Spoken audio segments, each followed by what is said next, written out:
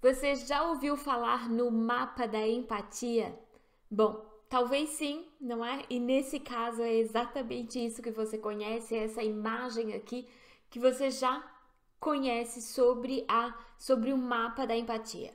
O mapa da empatia nada mais é do que uma ferramenta que nos ajuda a entender o nosso público-alvo.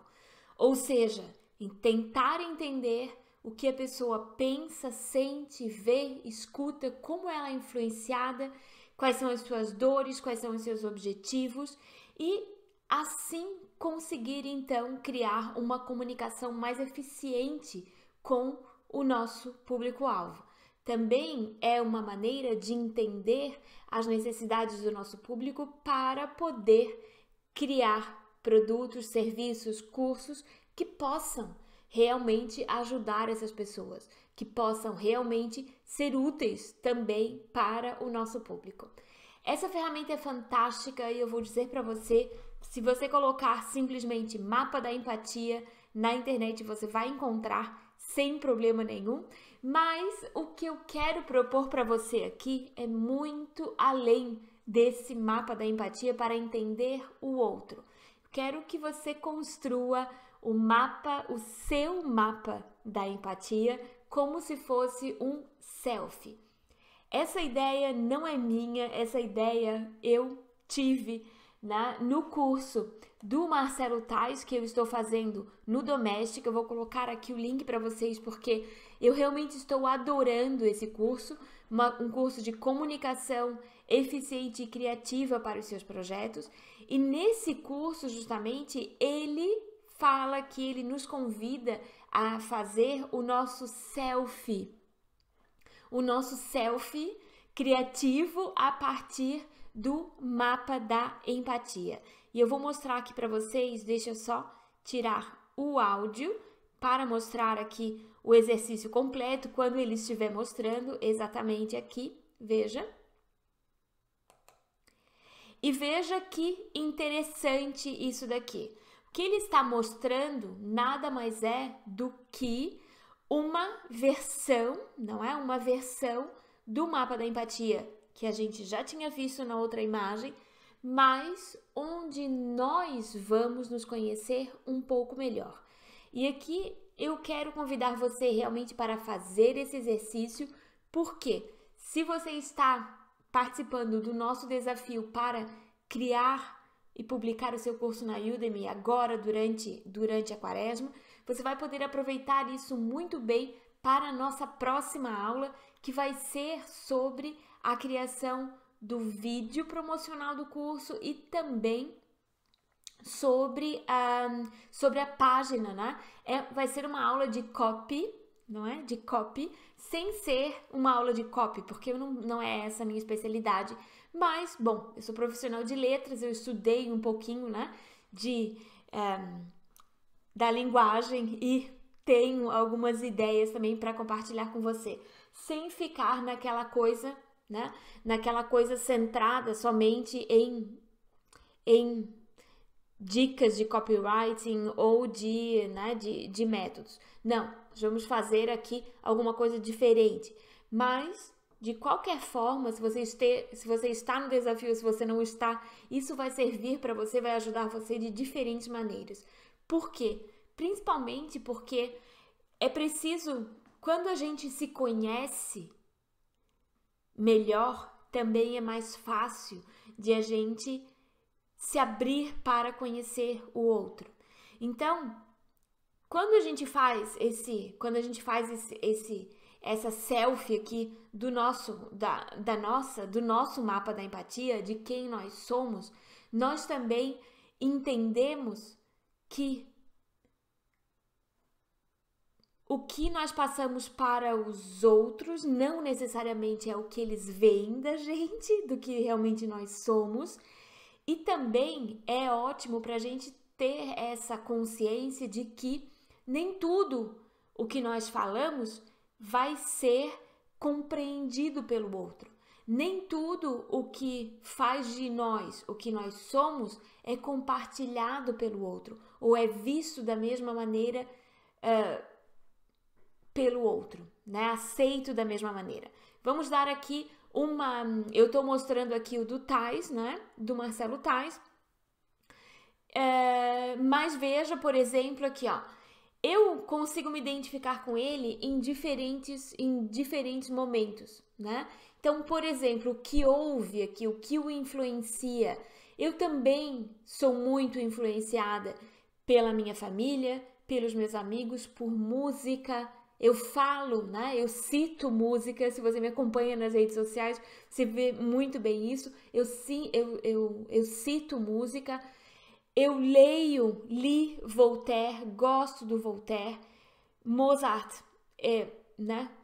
Não é a minha primeira, a minha primeira hum, opção de música clássica, mas eu também ouço, também conheço. Um, gosto, leio, cito Fernando Pessoa, conheço Freud e um, conheço um pouco de música, de música sertaneja também, por exemplo, não é? Milionário José Rico fez parte da minha infância, por exemplo, porque meu pai gostava de Milionário José Rico, então eles não chegam a me influenciar, mas eles fazem parte da minha vida também. Porque, como eu falei, meu pai gostava, né? E é, eu escutei isso muito durante a infância. Eu, pessoalmente, não tenho na minha playlist, mas se eu escutar, eu identifico, entende? Então, tudo isso faz, faz de nós o que nós somos e também faz com que nós nos identifiquemos com as outras pessoas. Então, é importante que a gente tenha essa consciência da gente para que a gente possa entender também como o outro vai se identificar ou não com a gente, como nós vamos nos comunicar ou não com os nossos, né, com os nosso, com o nosso público-alvo, com os nossos ouvintes, com os nossos alunos, com a nossa plateia, se nós estivermos, por exemplo, dando uma palestra. E a mesma coisa vai ser também em toda a campanha promocional para os nossos cursos, toda, né, toda a parte de marketing pessoal também que nós vamos fazer, ok? Bom, então agora eu quero que você pegue um papel, tire um momento da sua vida agora e você vai criar então o seu mapa da empatia. Se você quiser conhecer o, o curso do Tais, do Marcelo Tais, eu vou realmente dizer para você se você gosta, né, de gosta de estudar comunicação e quer se aprofundar no assunto no todo, então clica aqui, você vai conhecer o curso, tenho certeza de que você vai adorar. E me dê um alôzinho lá, eu já vi que tem um monte de alunos meus, fico super feliz com isso, e daí o pessoal fica me dando um alô. Pode me dar um alô também, me dizer, olha, Leila, né? Vi a tua dica e tô aqui, vou ficar feliz disso, tá bom? Mas, de qualquer forma, esse exercício você pode fazer agora. Você pode fazer agora mesmo. Então, você vai começar dizendo quem é você. Escreve lá o que, que faz de você essa pessoa única que você é, né?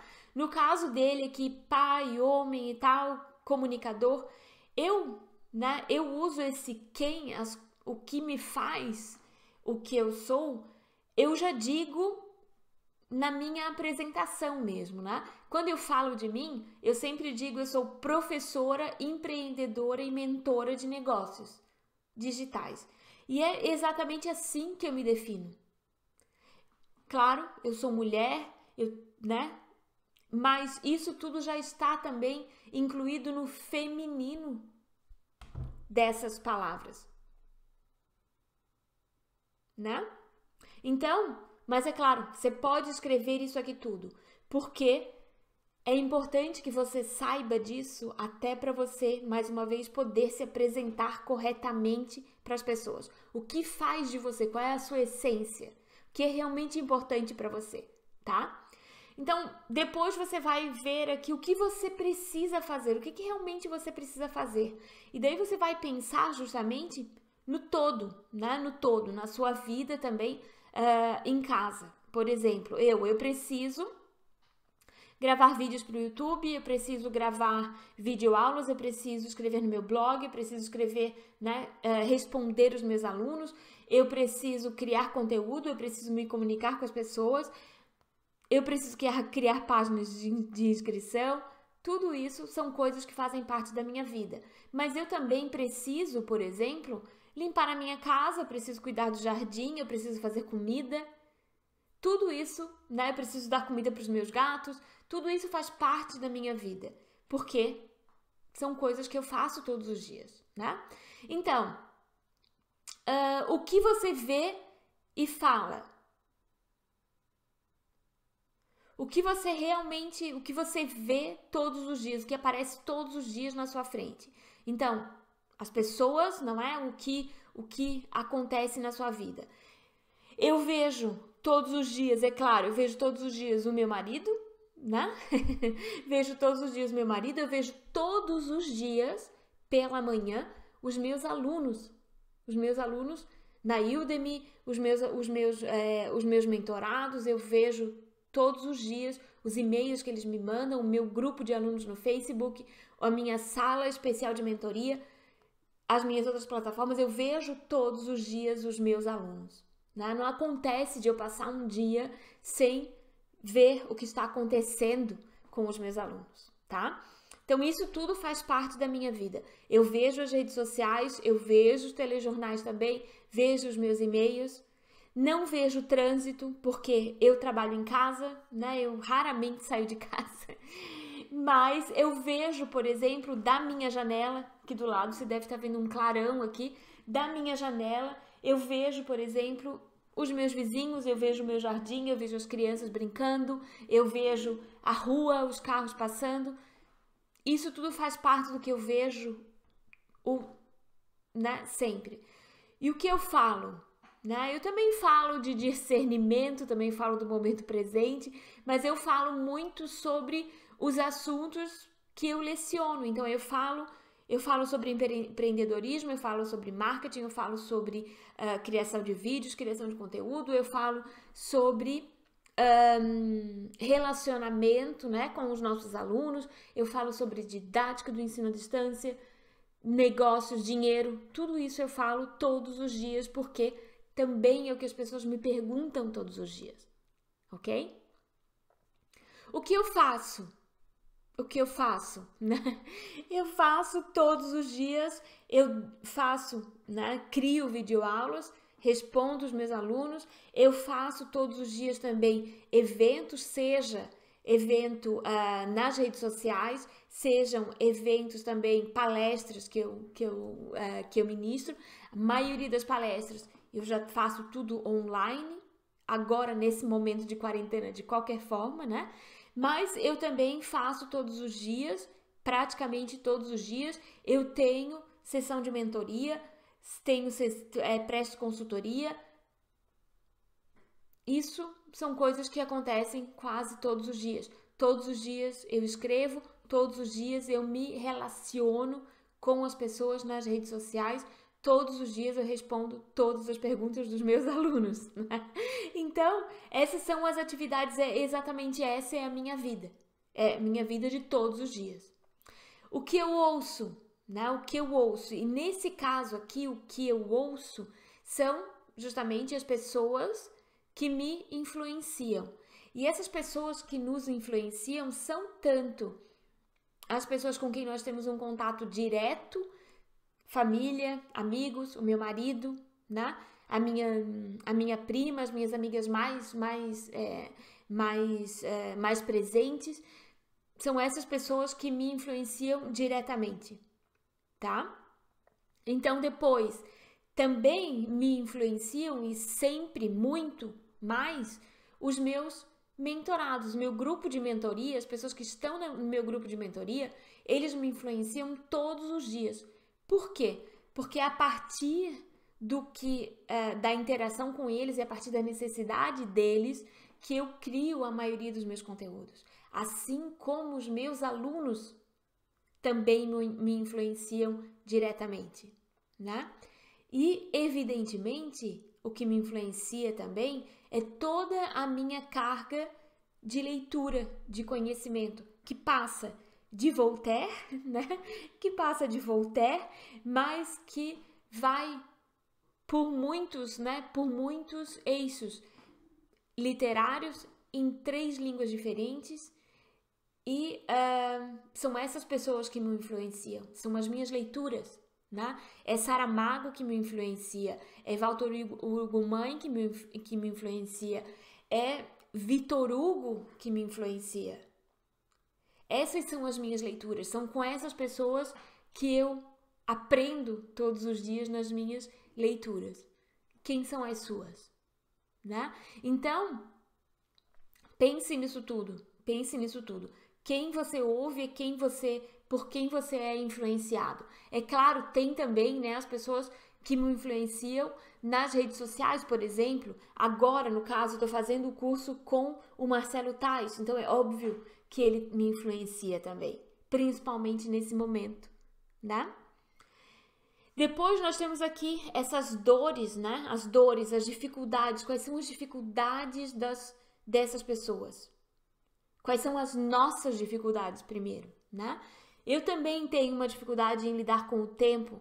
Eu tenho dificuldade, por exemplo, uma dificuldade para mim é ter um, é o fuso horário, por exemplo, né? O fuso horário. Eu moro na Alemanha, minha família inteira mora no Brasil, né? A maioria, a grande parte da minha família mora no Brasil. Aí nós temos também a parte da família que mora aqui na Alemanha e nós estamos todos separados. Eu e meu marido moramos sozinhos em uma cidade.